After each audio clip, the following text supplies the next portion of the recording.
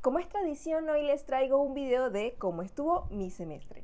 A diferencia del semestre pasado, siento que estuvo un poquito más relajado en cuanto a las horas que tenía que pasar viendo clases en la universidad. Ya no salía súper tarde a las 6 de la tarde o ese tipo de cosas, pero la cantidad de exámenes que teníamos era súper alta, sobre todo por bioquímica, que teníamos un montón de exámenes. Vamos a comenzar por bioquímica. Realmente se convirtió en una de mis materias favoritas. Amé el contenido, lo que aprendí, haber podido conocer la importancia que tiene en la práctica clínica realmente fue una cosa súper estupenda para mí cinco estrellitas. En cada módulo nos enviaban casos clínicos, es decir, si veíamos el tema de vitaminas, había un caso clínico que estaba relacionado con las vitaminas. Si veíamos el metabolismo de la glucosa, casos clínicos relacionados con el metabolismo de la glucosa. Lo único malo de esta materia es que cada tres semanas teníamos un examen y los temas eran bastante extensos.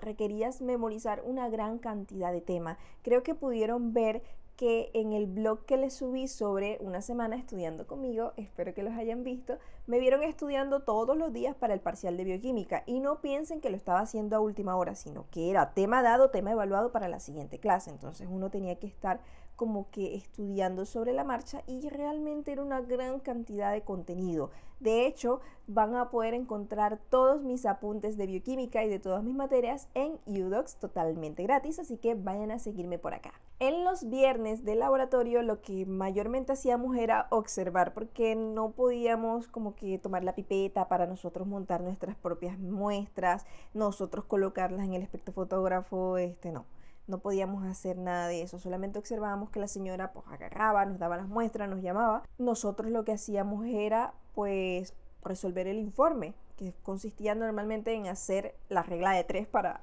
obtener todos los resultados. Si quieren que haga un video de los mejores trucos para estudiar bioquímica, ¿qué tal si negociamos? Si este video llega a 50 comentarios de personas distintas, voy a estar subiendo un video con todos los trucos que a mí me sirvieron para estudiar y aprobar bioquímica. 50 comentarios no son muchos, ya somos 30 mil personas, así que van a obtener bastante y totalmente gratis.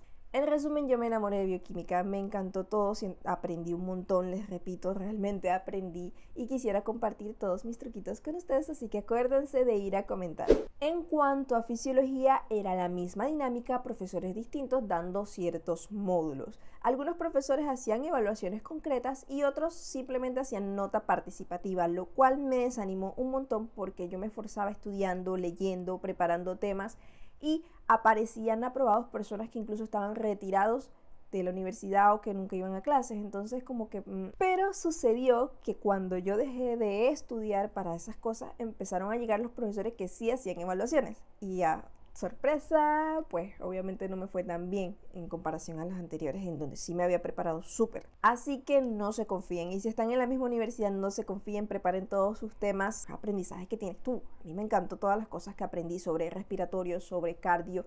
Realmente no sabía que las personas que viven en altura tienen una hipertrofia del ventrículo derecho o sea, fue una cosa súper wow, en serio sucede esto, así que pues pónganle el mismo ánimo a todo lo que estudien realmente. De aquí quiero resaltar el primer módulo que fue sobre neuro, que realmente fue un terror para todos, porque el profesor lo que hacía era nota participativa, pero esta nota sí era participativa y sí iba con nombre y apellido. Entonces él llegó y nos dijo, vimos clases, creo que fue el martes, y dijo ya como que enseguida mañana tienen examen. No, miento, el jueves tienen examen. Entonces todos como que, uh, ya enseguida. Entonces era como un interrogatorio. Nos mandó a leer como tres capítulos del Gaiton en la parte de neuro, obviamente. El módulo era de neuro. Y pues de ahí nos iba a hacer preguntas. La cosa es que te podía preguntar cualquier cosa, cosas que incluso no estaban allí, pero como formaban parte de lo que pues deberías saber sobre esto, te las preguntaba.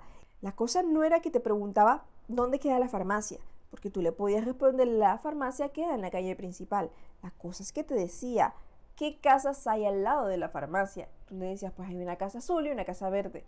Él continuaba su pregunta diciéndote, ¿de qué familia es la casa verde? como que, ay Señor Diosito, ayúdame. Fue bastante intimidante los interrogatorios de neuro, pero me preparé bastante, vi un montón de videos, me leí los libros, o sea, fue Me gustó también aprenderlo a pesar del miedo y gracias a que fui muy activa participando me lograron exonerar de los últimos dos interrogatorios y aprobé con la máxima nota aquí. Así que sean muy participativos, aunque de miedo es mejor que vayan acumulando poquito a poco la nota. En el caso de las personas que, bueno, vayan a ver esta materia también en la misma universidad en fisiología también teníamos laboratorio. Entonces los primeritos fueron como cómo tomar la presión, ese tipo de cosas. Luego vimos electrocardiograma, cómo tomarlo.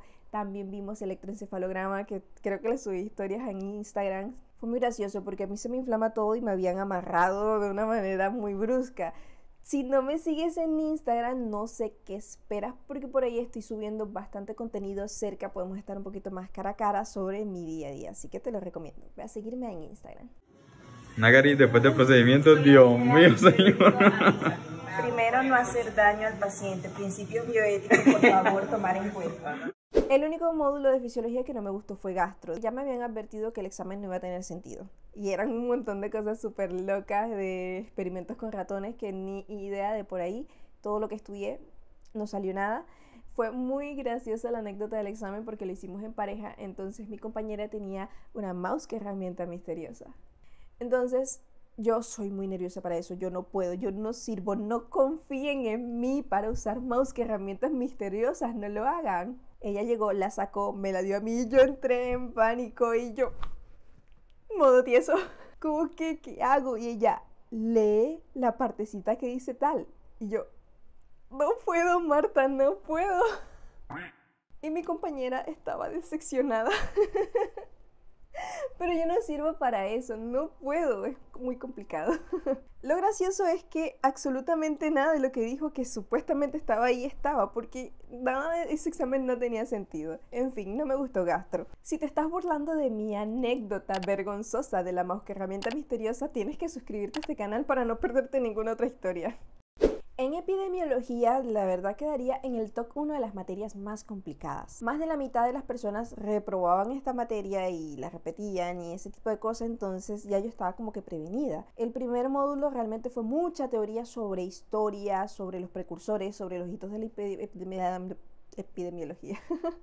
sobre los hitos de la epidemiología no pues no me va a salir sobre los hitos de la epidemiología entonces era bastante contenido el que asimilar y yo me preparé con mnemotecnias, historias súper improvisadas, veía video, estudiaba con mis compañeros en Meet, hacía la ruleta de la muerte para que todos contestáramos las preguntas, me preparé muy bien.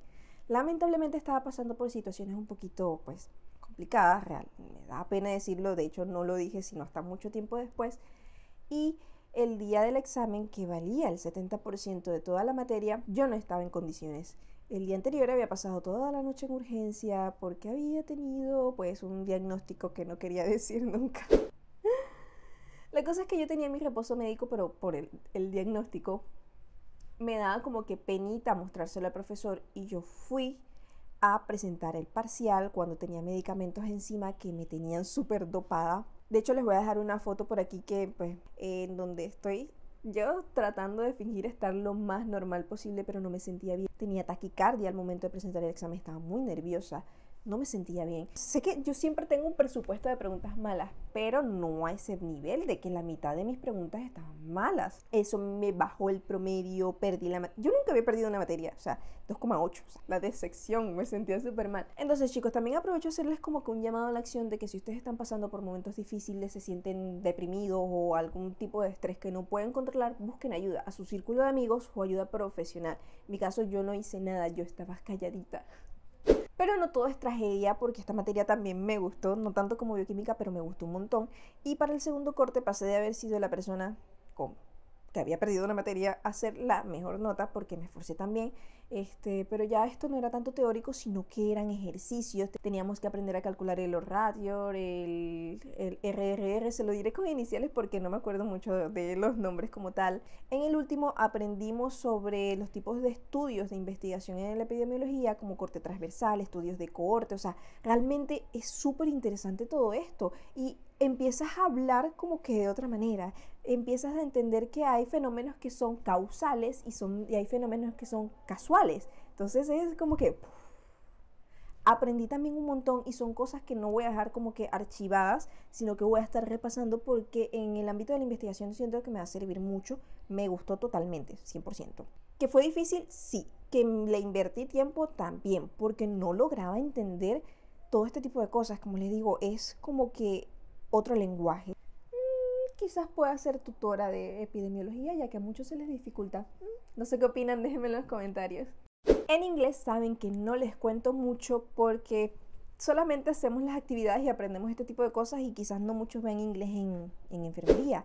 Para persona, familia y comunidad, que era la última materia que veíamos los viernes, eh, mm, no me gustó mucho, o sea, mm, la dejaría en el último puesto. Es que la veíamos los viernes a las 7 de la mañana. Y acá en Cartagena se aplica un día donde no hay motos, un viernes sin moto. Entonces el transporte es muy pesado, hay trancones. Ese día tenía que madrugar un montón. Salía de mi casa a las 5 de la mañana. A las 5 y 20 estaba metida en un trancón. Y para poder llegar a las 7 o un poquito antes de las 7, porque a la profesora no le gustaba que llegáramos tarde.